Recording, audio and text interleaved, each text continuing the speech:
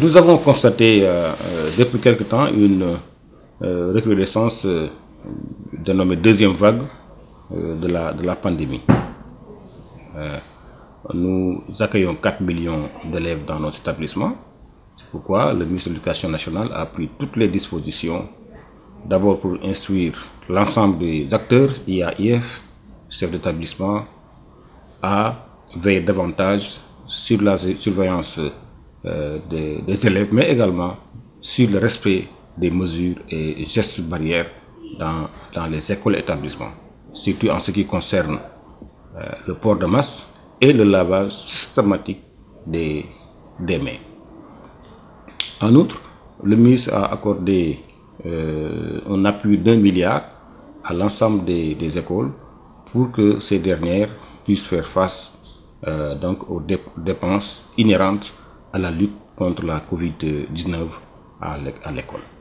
Donc cet argent-là va leur permettre de euh, d'acheter des masques, euh, d'acheter euh, donc tout ce qui est gel, savon pour pouvoir assurer le lavage régulier des, des mains.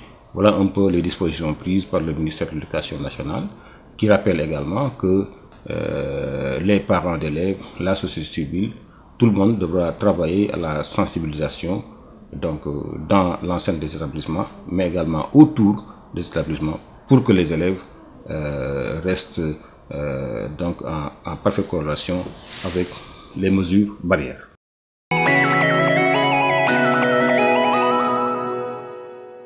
Oui, au Sénégal, on devrait arrêter à jouer à Mouché Konetou ou Madame Konetou. Euh, le, chef de l'État a mis en place ce qu'on appelle le comité national de gestion de l'épidémie. Euh, ce comité euh, détient euh, par devers lui toutes les informations et en temps réel.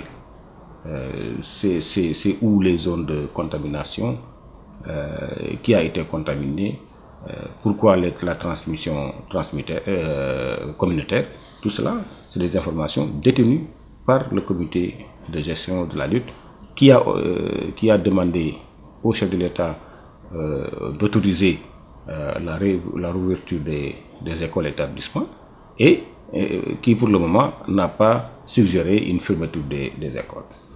Je rappelle souvent que nous avons 4 millions d'élèves et nous avons le choix entre garder ces 4 millions d'élèves à l'école où il y a un protocole sanitaire ou bien les lâcher dans la rue, euh, dans les maisons ou dans les, même dans les terrains de jeu où il n'y a aucun protocole sanitaire avec tous les risques encourus.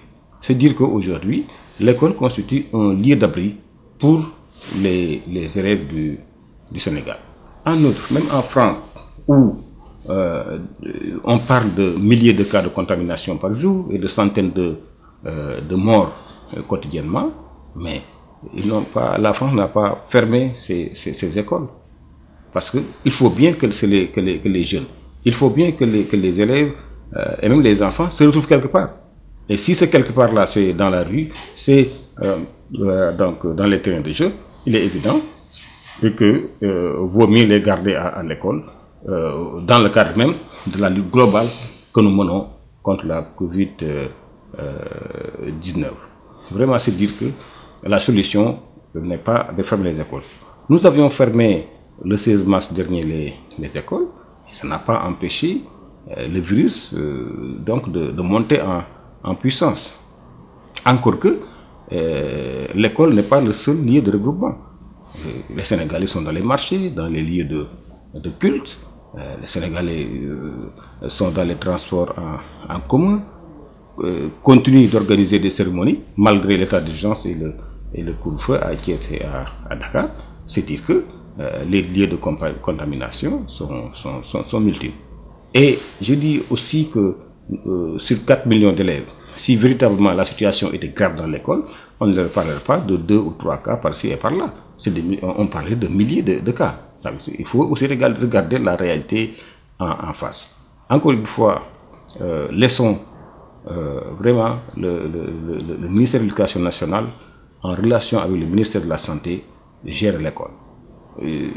La santé des enseignants et des élèves euh, et, donc est une priorité pour le ministère de l'Éducation nationale.